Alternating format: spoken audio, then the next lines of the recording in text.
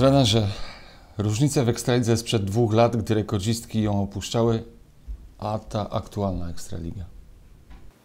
Hmm, myślę, że poziom Ekstraligi dalej jest wysoki, jeżeli chodzi o, mm, o umiejętności. E, Dalej trudno o zdobycz punktową w każdym spotkaniu, o czym też się w tym sezonie przekonujemy.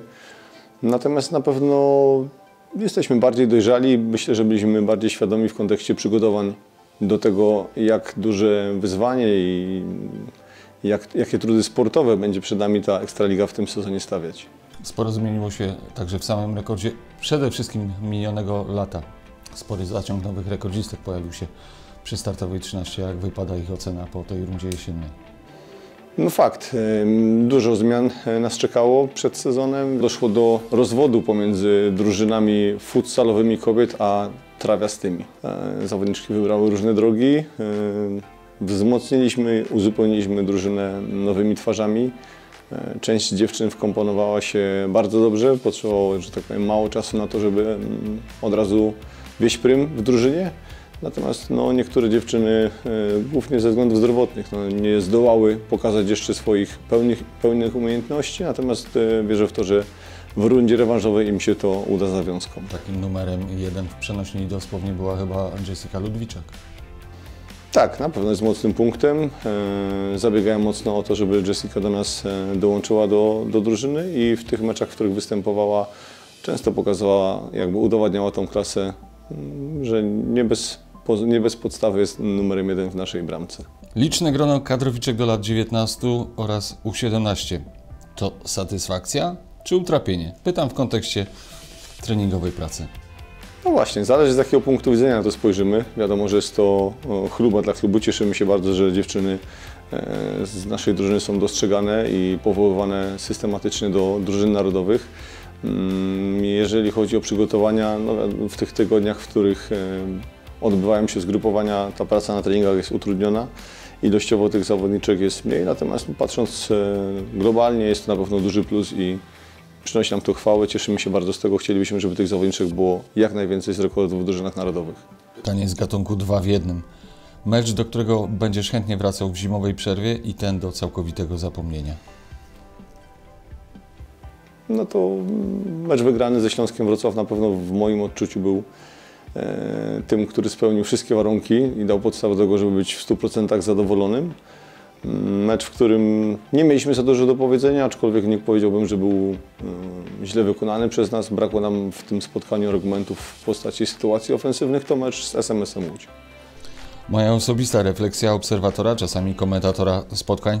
Niezłym napastniczkom rekordów brakowało tak zwanego serwisu. No ja myślę, że tutaj warte podkreślenia w kontekście tego pytania jest to, że dysponuję bardzo e, młodą drużyną, bardzo młodym zespołem. Są to dziewczyny, które na poziomie Ekstraligi raptem w przeciągu zeszłego sezonu zaliczyły kilkanaście występów. A nawiązując do tego pierwszego pytania, to pokazuje właśnie jak duże różnice choćby między pierwszoligowym poziomem a ekstraligowym są e, na boisku widoczne. I czasami może tych, jak tutaj padło w pytaniu serwisów, brakowało do, do e, tych, które powinny to finalizować, czyli do napastniczek. A czy ze zdrowiem rekordzistek tej jesieni było lepiej niż zazwyczaj, czy to tylko wrażenie? No jeżeli wrażenie mamy wspólne podobnie, podobne, że, że jest lepiej, no to skłonię się tutaj ku tej odpowiedzi, że faktycznie jeżeli chodzi o kontuzję, życzyłbym sobie, żeby ta runda rewanżowa przebiegała w podobny sposób, bo tych urazów było naprawdę mało. Macie w Ekstralidze 4 punkty zapasu nad strefą zagrożenia. To dokładnie tyle samo, ile wynosi przewaga naszych trzecioligowców nad wiceliderem w grupie trzeciej. Liczba identyczna, położenie diametralnie różne. No, myślę, że i y, drużynie trzeciej ligi, zarówno jak i nam, ta presja związana z realizacją celu gdzieś zawsze będzie się z tyłu głowy pojawiać. E, Nie ma co ukrywać, że naszym celem jest zdobycie, pozostanie, przepraszam, w, na poziomie ekstraligowym. Życzę całej e, drużynie trzeciej ligi, trenerom, całemu klubowi zdobycia mistrzostwa również trzeciej ligi awansu do ligi drugiej. E, Oby się okazało, że te zaliczki czterech punktów e, będą dla nas na tyle szczęśliwe, że w końcowym rozrachunku będziemy się wszyscy mogli wspólnie cieszyć z, ze zrealizowanych celów na koniec sezonu. No, Oby to, oby to życzenie spełniło się. E, Już na koniec zakładam, że zima będzie pracowita, może nawet bardzo pracowita.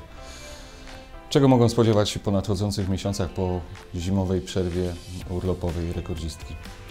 Dalej będziemy konsekwentnie realizować plan, który sobie nakreślamy. E, Wiadomo, że okres zimy jest okresem takiej wytężonej pracy. E, Będziemy się dalej doskonalić e, w systemach gry, w których do tej pory występujemy na, na boisku. Starali się poprawiać mankamenty w naszej grze, tak żeby być jak najlepiej przygotowanym do tej rundy rewanżowej. Czego serdecznie życzymy. Bardzo dziękujemy.